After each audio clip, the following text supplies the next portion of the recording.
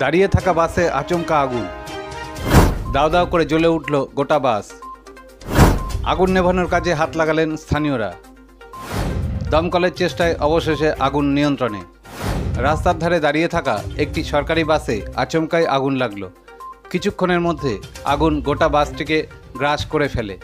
স্থানীয় মানুষ প্রথমে নিজেরা আগুন নেভানোর চেষ্টা করে ব্যর্থ হন। পরে দমকল বাহিনী এলে বেশ কিছুক্ষণের চেষ্টায় আগুন নিয়ন্ত্রণে আসে। মঙ্গলবার বিধাননগর বিদ্যাসাগর আইল্যান্ডের কাছে এই ঘটনা ঘটেছে। জানা গেছে, সাধারণত এই বাসগুলি বিধাননগর মেলা প্রাঙ্গণে পার্কিং করা থাকে। কিন্তু সেখানে সম্প্রতি বইমেলার আয়োজন হওয়ায় সেই সময় বাসগুলিকে বিদ্যাসাগর আইল্যান্ডের কাছে রাস্তার ধারে পার্কিং করে রাখা হয়। সেই রকমই একটি পার্কিং করা বাসে হঠাৎ করে এদিন আগুন লেগে যায়। পার্কিং করা বাসে এইভাবে আচমকা দাউ দাউ করে আগুন জ্বলতে দেখে স্থানীয়রা ছুটে এসে আগুন নেভানোর কাজে হাত লাগান। বিধাননগর পুর নিগমের জলের ট্যাঙ্কার দিয়েও আগুন নেভানোর চেষ্টা করা হয়। পরে দমকলের দুটি ইঞ্জিন ঘটনাস্থলে এসে আগুন নিয়ন্ত্রণে আনে। কিছুক্ষণ আগেই আগুন লেগেছে। হঠাৎ করে আগুন দেখতে পেয়ে আমরা আতঙ্কিত হয়েছি।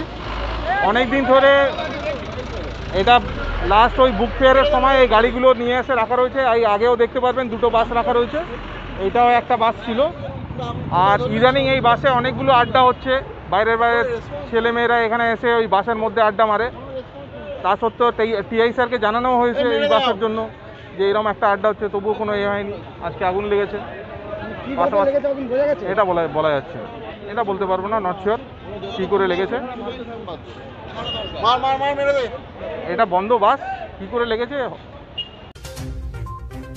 বেশ কিছুক্ষণের চেষ্টায় আগুন নিয়ন্ত্রণে আসলেও ততক্ষণে আগুনে বাসটির বেশিরভাগ অংশই ক্ষতিগ্রস্ত হয়ে যায়।